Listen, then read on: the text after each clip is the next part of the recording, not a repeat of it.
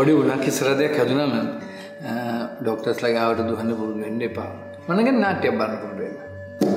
ඔය ගොඩාක් ඩොක්ටර්ස්ලාත් පොඩි පොඩි අසනීපයක් වුණාම බෙහෙත් බොන්නේ නැහැ. ඒගොල්ලෝ නාට්‍යයක් බලන්න. නාට්‍ය කියන්නේ එච්චර අපූර්ව දෙයක්. මම නාට්‍ය කියලා මේ ටෙලි නාට්‍ය නෙමෙයි. වේදිකා නාට්‍ය හොඳේ. මම මේ කිව්වේ ලෙඩක් දුකක් හැදුනම දොස්තර මහත්තුරු ළඟට යන්න තු නාට්‍යයක් බලන්න කියලා. දොස්තර මහත්තුරුත් ඉතින් කරන්නේ පොඩි රංගපෑමක්නේ. නාට්‍ය රංගපෑම ඊට වඩා හරි වෙනස්.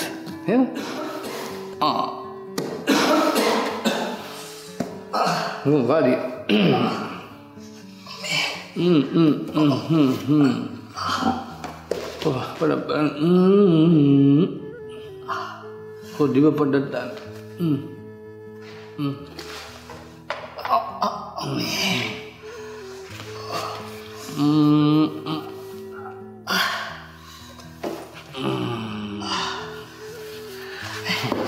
ගොඩාක් ලෙඩ තියෙන්නේ හිතේ කියලා ගොඩාක් දොස්තර මහත්තුරු දන්න.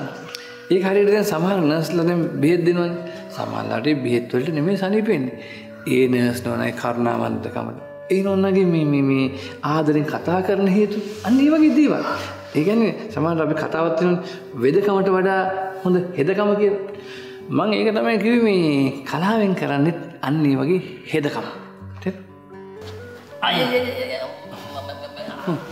ගොඩාක් වෙලාවට දොස්තර මහත්තුරුන්ටත් වඩා රඟපාන්නේ ලෙඩ්ඩු මේ පේන්නද මම මෙච්චර වෙලා කියන දැඟලුවේ මේ කලාව නිසා. කලාවෙන් ගොඩාක් රෝග සුව වෙනවා කියලා. අටානුවක් රෝග නවානුවක් ව්‍යාධි සියල්ල සංසිඳනවා කියලා.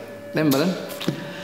එඩි ජයමානගේ කල හන්දිය අර හිටන් ඉන්න රාලහාමිගේ අත් දෙක මැෂින් එකක් වගේ නිකන් අර පැත්තට මේ පැත්තට හරවහරුව පිටිපස්සට කාර්ලොරි බර කරත්ත බස් සිස්ටෝ මෙතන වගේ හරි ජරම හහ හහ බන් රැප් කියලා තිබ්බනේ. ඔය රැප් කියන එක අලුත් නෙන එඩි ජයමාන මහත්තයා තමයි මුලින්ම කරේ. හැබැයි එක පොඩක් ප්‍රශ්නයක් තියෙනවා. ඒ රැප් වල කියන එක තේරුණා. දැන් කියන්නේ වචන තේරෙන ටිකේ ප්‍රශ්න. ඒක තමයි මම නිතරම කියන්නේ. එඩිලා ෆ්‍රෙඩිලා නිසා මේ ගොඩාක් මිනිස්සු කොච්චර සුවපත් වෙන්න ඇද්ද? දැන් කොහොම දත්තේ ටිකක් හොඳයි වගේ. තව පෝඩ්ඩක්. කලින් දුන්නේ එඩි වෙද මහත්තයාගේ වනේ ප්‍රඩි වෙද මහත්තයා ටිකක් දුන්නොත් ඕක හරියනවා. පරණකෝඩ් පරණකෝඩ් පිතලි බුත්තන් කෙරිච්ච මුඩෝදේනි බුරුතකෝට්. මින්නගිනවෝ මින්නගිනවා අනි මින්නගිනවෝ මින්නගිනවා පරණකෝත් පරණකෝත්. කොම සනිදද පරණකෝට් පරණකෝට් පරණකෝට් ඉන්න සන්නපයි මම එකයි කිව්වේ දොස්තර මහත්තුරු අමනාව වෙන්න එපා දොස්තර මහත්තුරුන්ට වගේම මේ කලාකාරයන්ටත් පොඩ්ඩක් විතර මිනිස්සුන්ව සුවපත් කරන්න පුළුවන්.